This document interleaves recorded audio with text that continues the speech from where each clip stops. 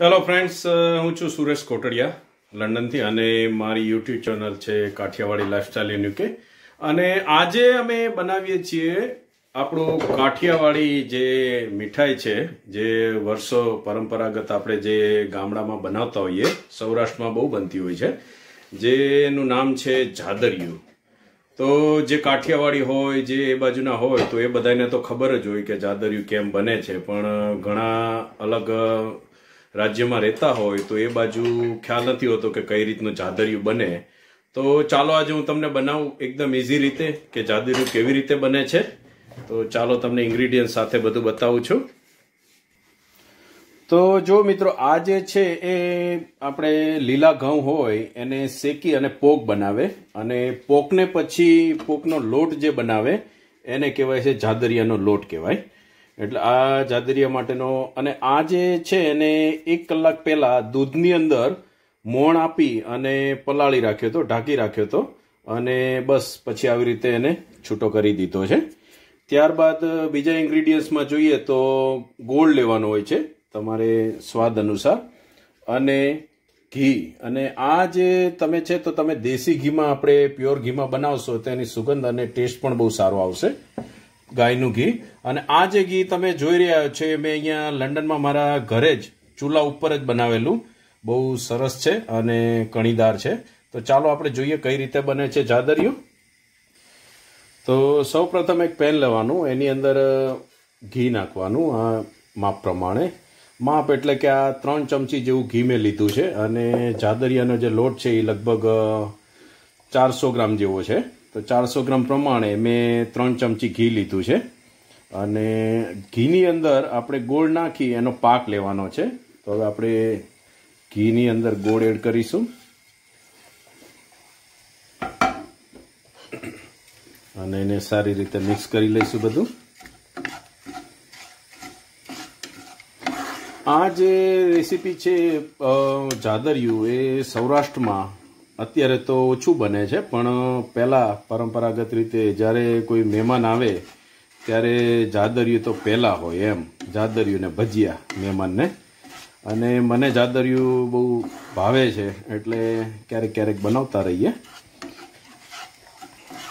અને ખાસ તો જ્યારે આ લોટ જાદરિયાનો, પોકનો લોટ છે, એ ઇન્ડિયાથી આવે ત્યારે બને. એટલે રાહ જોવી પડે કે ભાઈ ક્યારે પાર્સલ આવે ઇન્ડિયાથી. તો જાદરિયાનો લોટ આવે તો બનાવીએ. તો મિત્રો, ગોળનો પાક એકદમ આવી ગયો છે. તો હવે જે જાદરિયાનો લોટ છે એને આપણે મિક્સ કરી દઈશું એમાં અને સારી રીતે એને હલાવતા રહીશું.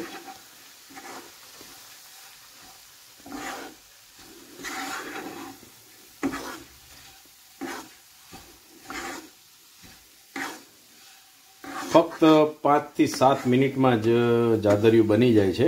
બહુ એટલી વાર નથી લાગતી. પણ ખાસ તો જાદરિયાના લોટને દૂધમાં મોણ આપી અને કલાક જેવો તમારે રાખી મૂકવો પડે છે. એટલે એક કલાક પહેલાં તમારે દૂધમાં મોણ રાખી અને મૂકી રાખવાનો.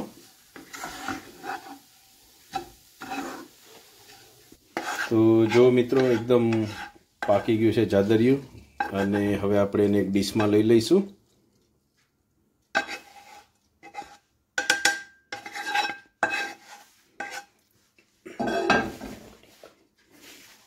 અને બસ એને સારી રીતે બધી બાજુથી આવી રીતે દબાઈ દેવાનું છે. અને ડીશની અંદર ઢાળી લેવાનું છે. તો જો મિત્રો, ડીશની અંદર આપણે એકદમ ફર્સ્ટ ક્લાસ પાથરી દીધું છે અને ઉપર સ્વાદ અનુસાર જો તમને સારું લાગતું હોય તો ટોપરું પણ તમે એડ કરી શકો છો. મને ટોપરું ને એવું ભાવતું આમાં સ્વાદ એનો બહુ સારો આવશે. તો ટોપરું પણ તમે ઉપર લગાવી શકો છો. ત્યારબાદ શું કે કોઈ વાટકો હોય તો વાટકા ઉપર પાછળના ભાગમાં ઘી લગાવી દેવાનું અને એના ઉપર આવી રીતે ફેરવી દેવાનું, જેથી એકદમ ટોપરું ચોટી જાય અને ઢેફલી પણ બહુ સરસ પડશે એની. ચાલો તો હવે આપણે એની ઢેફલી પાડી લઈશું.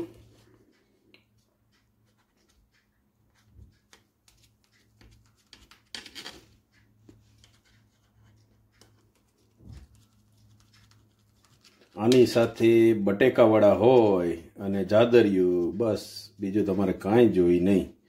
બે વસ્તુ હોય એટલે જામો પડી જાય.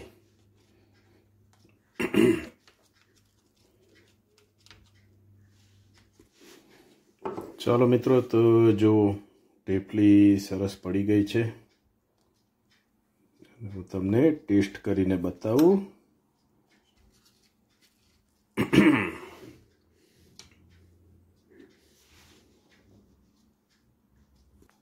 તો જો મિત્રો ચાદરી એકદમ રેડી છે. ચાલો હું ટેસ્ટ કરું અને બહુ મસ્ત ગરમ ગરમ છે.